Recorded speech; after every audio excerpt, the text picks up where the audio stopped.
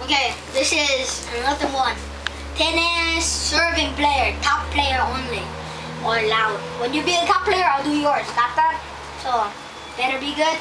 Okay, first, I'll go with number one player, Roger Federer.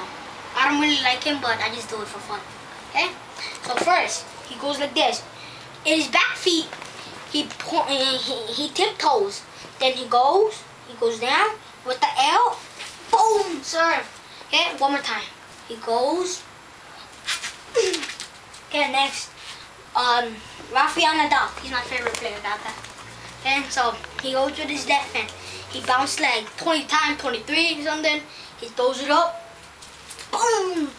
So one more time, huh? He throws the ball super back so he can bend back to this and he serve.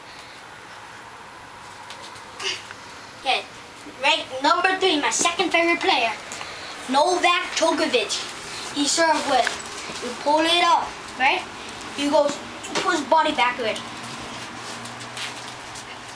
And then, show one more time, huh? Pulls body back like this. It goes, he served.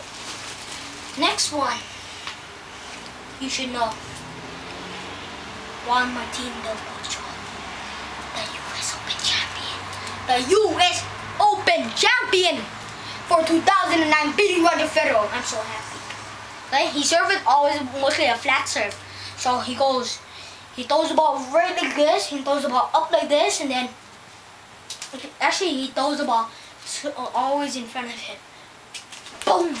That's his flat serve. See, his spin serve is pulling back and then just serving the spin drive. Everybody should know that. this is what I get. An Andy Roddick uh, low low cards uh, t-shirt. And now I'm gonna do his serve 47 miles per hour. Okay, so you put his feet together. First he goes like this. Okay? Then he put two feet together. He's going to put his hand like this. Going, he bends down with two feet and explode.